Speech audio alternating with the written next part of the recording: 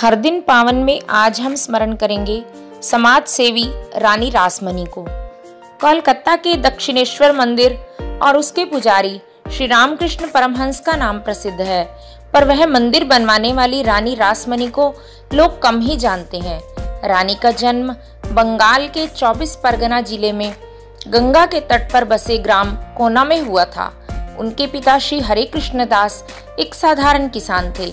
परिवार का खर्च चलाने के लिए वे खेती के साथ ही जमींदार के पास कुछ काम भी करते थे। उसकी चर्चा से रासमणि को भी प्रशासनिक कामों की जानकारी होने लगी। रात में उनके पिता लोगों को रामायण, भागवत आदि सुनाते थे। इससे रासमणि को भी निर्धनों की सेवा में आनंद मिलने लगा। रासमणि जब बहुत छोटी थी, तभी उनकी माँ का निधन हो गया। ऐसे में उनका पालन उनकी बुआ ने किया। तत्कालीन प्रथा के अनुसार उनकी 11 वर्ष की अवस्था में उनका विवाह बंगाल के बड़े जमींदार प्रीतम बाबू के पुत्र रामचंद्र दास से हो गया। ऐसे घर में आकर भी रासमणि को अहंकार नहीं हुआ।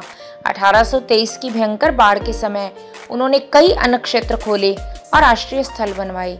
इससे उन्हें खूब ख्याति मिली और लोग उन्हें रानी कहने लगे।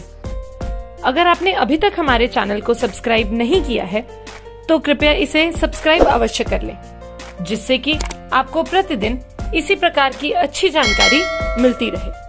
विवाह के कुछ वर्ष बाद उनके पति का निधन हो गया। तब तक वे चार बेटियों की माँ बन चुकी थी, पर उनके कोई पुत्र नहीं था।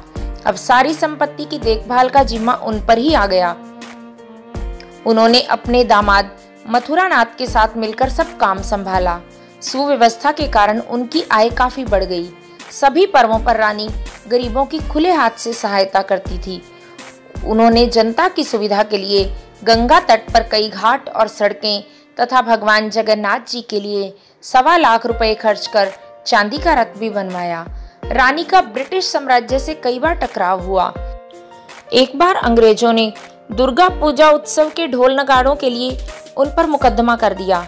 इसमें रानी को जुर्माना देना पड़ा, पर फिर रानी ने वह पूरा रास्ता ही खरीद लिया और वहाँ अंग्रेज़ों का आवागमन बंद करा दिया। एक बार शासन ने मछली पकड़ने पर कर लगा दिया। रानी ने मछुआरों का कष्ट जानकर वह सारा तट खरीद लिया। इससे अंग्रेज़ों के बड़े जहाजों को वहाँ से निकलने में परेशानी होने लगी। इस बार भी शासन को झुककर मछुआरों से सब प्रतिबंध हटाने पड़े। एक बार रानी को स्वप्न में काली माता ने भवतारिणी के रूप में दर्शन दिए। इस पर रानी ने हुगली नदी के पास उनका भव्य मंदिर बनवाया। कहते हैं कि मूर्ति आने के बाद एक बक्से में रखी थी। तब तक मंदिर अधूरा था। एक बार रानी को स्वप्न में माँ दुर्गा ने कहा कि बक्से में मेरा दम घुट रहा है, मुझे जल्दी बाहर निकालो। रानी ने सुबह देखा तो प्रतिमा पसीने से लथपथ थी। इस पर रानी ने मंदिर का निर्माण तेज कर दिया और 31 मई 1855 को मंदिर में माँ दुर्गा की प्रतिमा की प्राण प्रतिष्ठा हो गई। इस मंदिर में मुख्य पुजारी रामकुमार चटर्जी थे।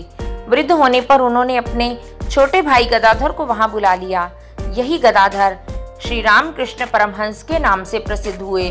परमहंस जी सिद्ध पुरुष थे।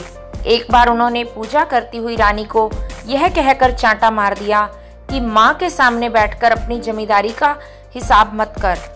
रानी अपनी गलती समझकर चुप रही। रानी ने अपनी संपत्ति का प्रबंध ऐसे किया कि जिसके उसके द्वारा संचालित मंदिर तथा अन्य सेवा कार्यों में भविष्य में भी कोई व्यवधान न पड़े। अंत समय निकट आने पर उन्होंने अपने कर्मचारियों से गंगा घाट पर प्रकाश करने को कहा।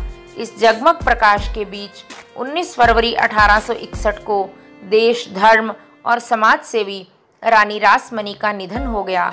दक्षिणेश्वर मंदिर के मुख्य द्वार पर लगी प्रतिमा उनके कार्यों को सदा याद दिलाती रहती है। भारत माता की जय।